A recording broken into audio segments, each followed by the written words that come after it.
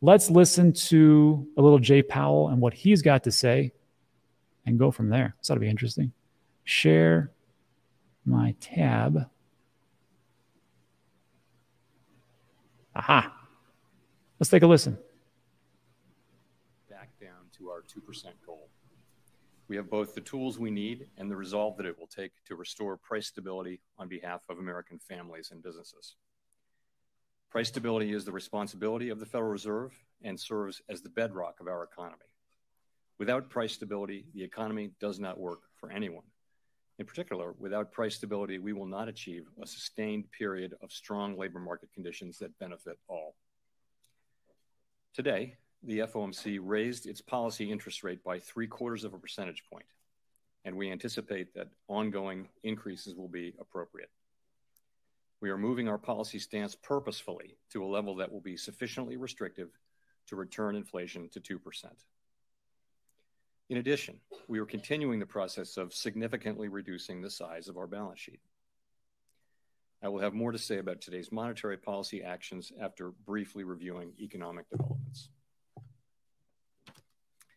The U.S. economy has slowed from the historically high growth rates of 2021, which reflected the reopening of the economy following the pandemic recession. Recent indicators point to modest growth of spending and production.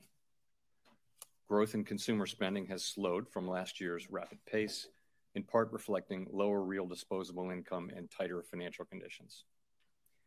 Activity in the housing sector has weakened significantly, in large part reflecting higher mortgage rates. Higher interest rates and slower output growth also appear to be weighing on business fixed investment, while weaker economic growth abroad is restraining exports. As shown in our summary of economic projections, since June, FOMC participants have marked down their projections for economic activity, with the median projection for real GDP growth standing at just 0.2% this year and 1.2% next year, well below the median estimate of the longer-run normal growth rate. Despite the slowdown in growth, the labor market has remained extremely tight, with the unemployment rate near a 50-year low, job vacancies near historical highs, and wage growth elevated. Job gains have been robust, with employee employment rising by an average of 378,000 jobs per month over the last three months.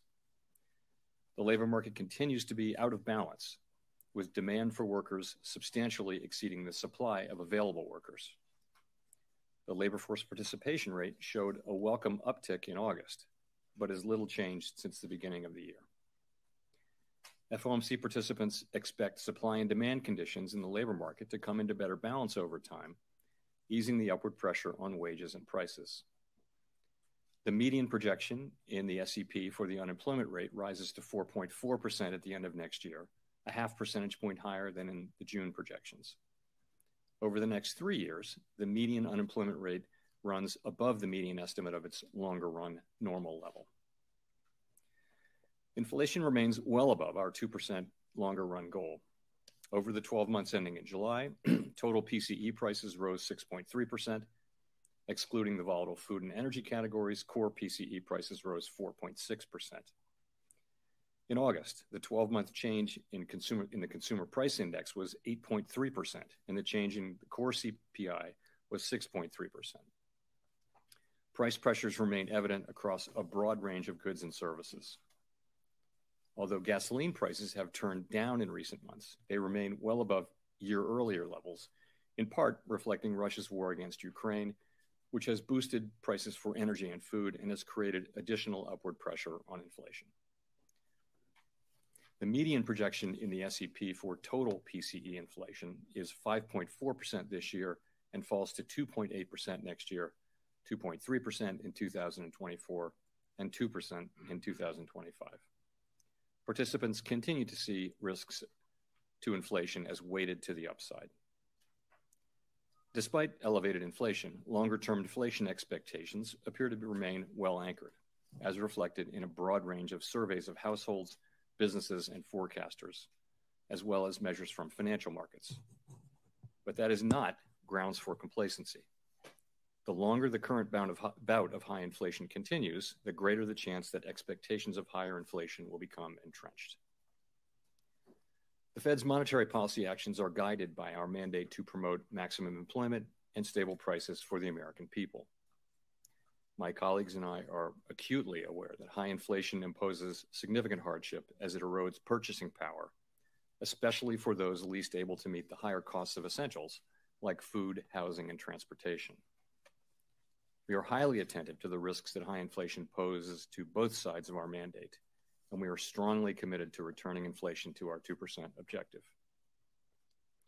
At today's meeting, the committee raised the target range for the federal funds rate by three quarters of a percentage point, bringing the target range to 3 to 3.25%. And we are continuing the process of significantly reducing the size of our balance sheet, which plays an important role in firming the stance of monetary policy. Over coming months, we will be looking for compelling evidence that inflation is moving down, consistent with inflation returning to 2%. We anticipate that ongoing increases in the target range for the federal funds rate will be appropriate. The pace of those increases will continue to depend on the incoming data and the evolving outlook for the economy. With today's action, we have raised interest rates by 3 percentage points this year. At some point, as the stance of monetary policy tightens further, it will become appropriate to slow the pace of increases while we assess how our cumulative policy adjustments are affecting the economy and inflation. We will continue to make our decisions meeting by meeting and communicate our thinking as clearly as possible. Restoring price stability will likely require maintaining a restrictive policy stance for some time the historical record cautions strongly against prematurely loosening policy. As shown in the SEP, the median projection for the appropriate level of the federal funds rate is 4.4% at the end of this year, one percentage point higher than projected in June. The median projection rises to 4.6% at the end of next year and declines to 2.9% by the end of 2025, still above the median estimate of its longer run value. Of course, these projections do not represent a committee decision or plan, and no one knows with any certainty where the economy will be a year or more from now. We are taking forceful and rapid steps to moderate demand so that it comes into better alignment with supply. Our overarching focus is using our tools to bring inflation back down to our 2% goal and to keep longer term inflation expectations well anchored reducing inflation is likely to require a sustained period of below trend growth, and there will very likely be some softening of labor market conditions. Restoring price stability is essential to set the stage for achieving maximum employment and stable prices over the longer run. We will keep at it until we're confident the job is done. To conclude, we understand that our actions affect communities, families, and businesses across the country Everything we do is in service to our public mission.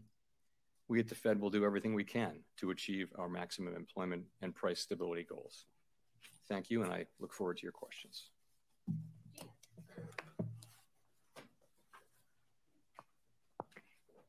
Hi, Chair Powell. Thank you for taking our questions. Jeanna Smialek from the New York Times. I wonder if you could give us a little detail around how you'll know when to slow down these rate increases and how you'll eventually know when to stop. So I will answer your I will answer your question directly, but I want to start uh, here today by saying that my main message has not changed at all since Jackson Hole. Uh, the FOMC is strongly resolved to bring inflation down to 2%, and we will keep at it until the job is done. So um, the way we're thinking about this is um, the overarching fo focus of the committee is getting inflation back down to 2%. Uh, to accomplish that, we think we'll need to do two things in particular uh, to achieve a period of growth below trend and also some softening in labor market conditions to foster a better balance between demand and supply in the labor market.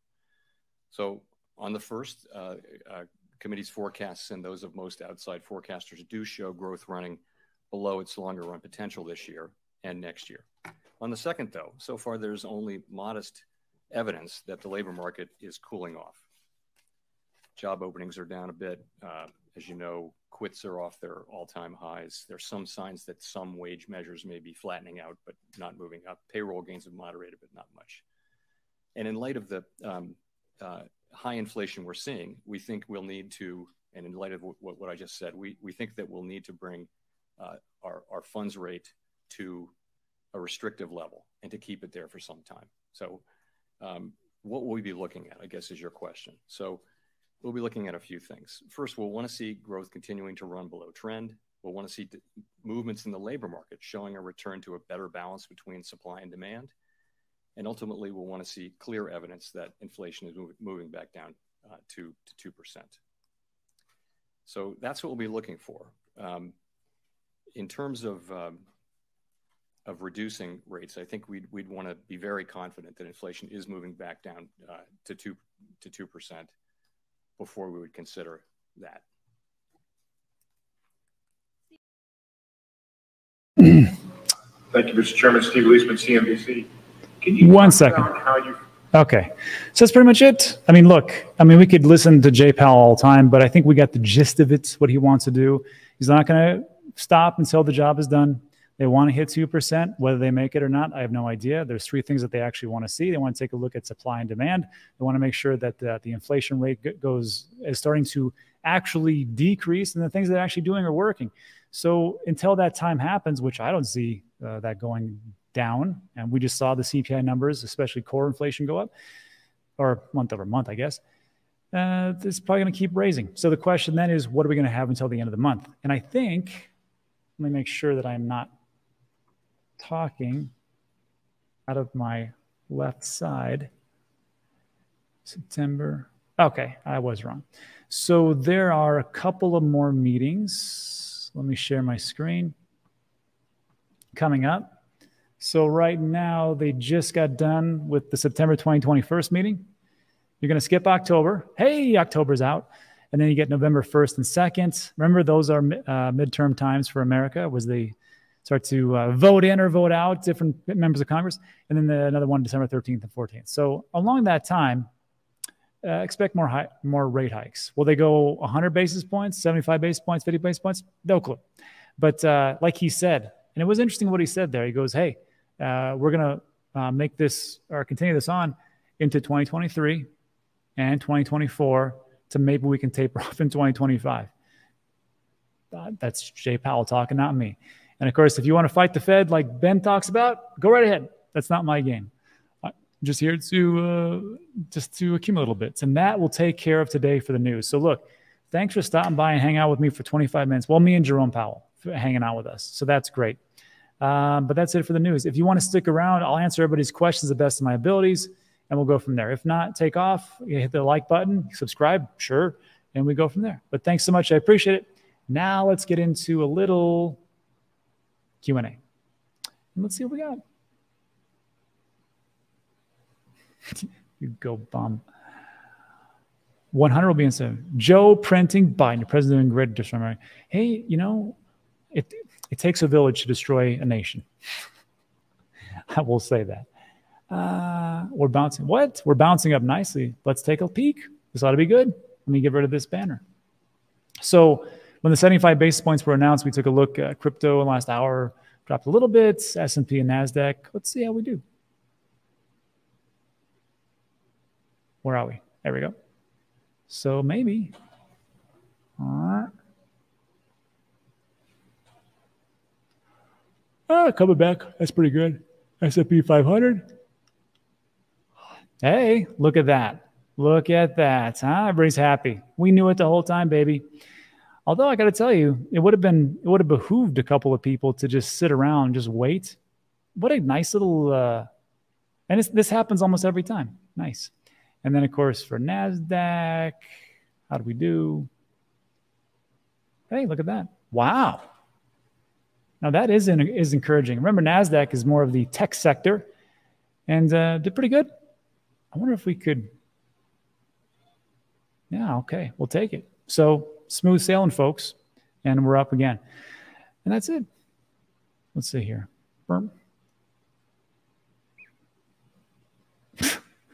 Sean, my blood pressure is 175 basis points. That would be that would be heavy. Heavy, heavy.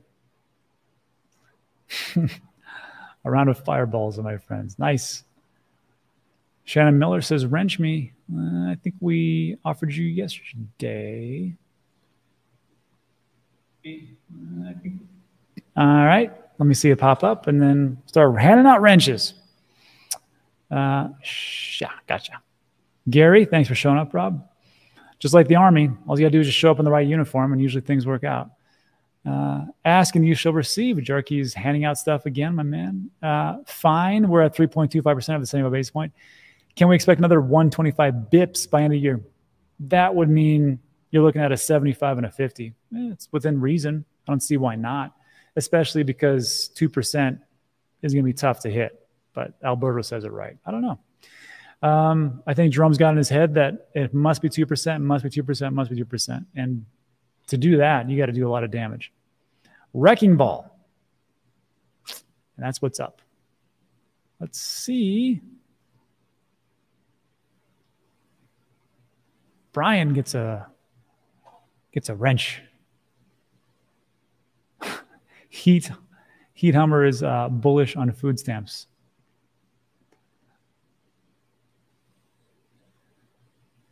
Chavo, you should have a wrench already.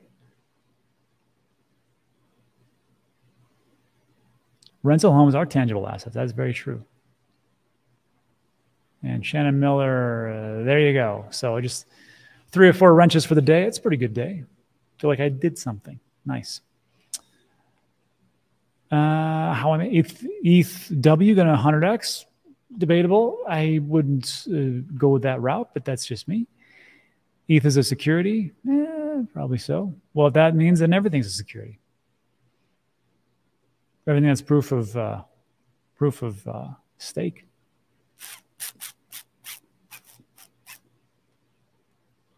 And of course, EW is not.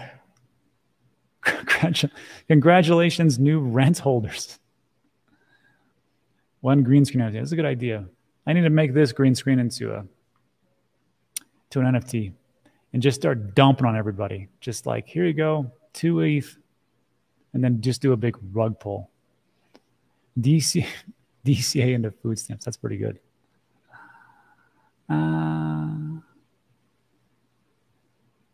well, it depends. If, if rate hikes do go, if do keep going as indicated, do you think land price will act similarly to housing? I'd be flat to go down.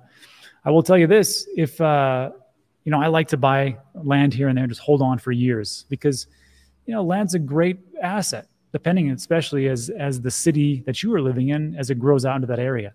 So the thing you have to remember is this: is if the interest rates go up and people are getting loans for land, I don't know why you do a bunch of that, but you could. Uh, then of course, then the people that are trying to buy it, they'll get aced out because of the uh, interest rates going up, so they can't afford it. And what does that mean? Then people go, well, there's a less of a pool for people to buy. And then what does that mean? People who have cash on hand, when they say, hey, I know you got five offers and you're waiting for them to, you know, figure out which one it is, which one's actually going to approve. Tell you what, I'll pay you cash right now, a little bit less, but I'll pay you cash right now. And let's just get this done. We can get it done in 24 hours. What would you do? All right.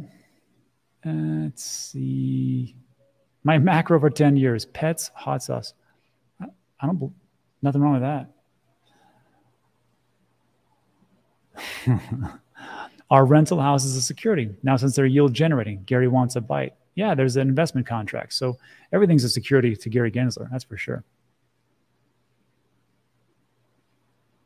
Hmm.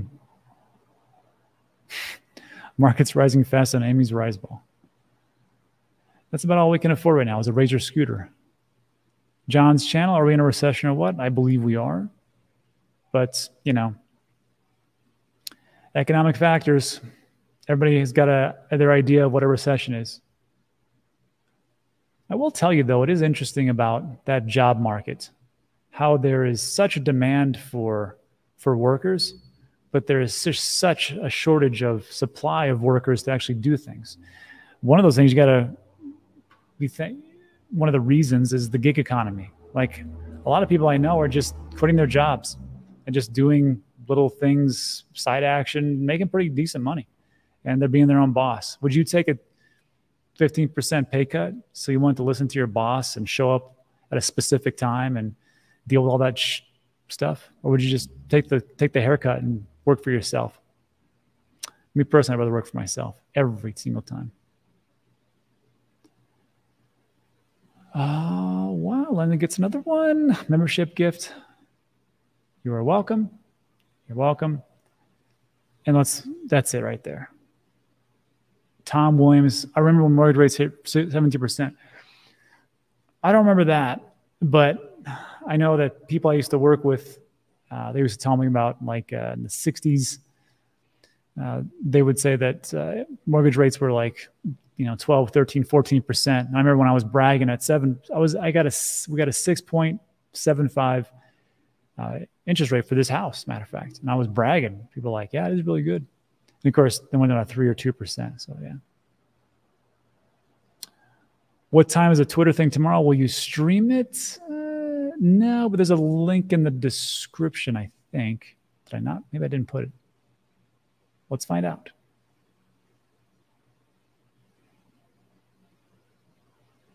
Ah, didn't put it in there. Twitter Spaces link. Or you can just follow me on Twitter. That's probably the easiest thing. And voila, hit refresh and it's there. All right, buddy. So I think, let me make sure I didn't miss anything.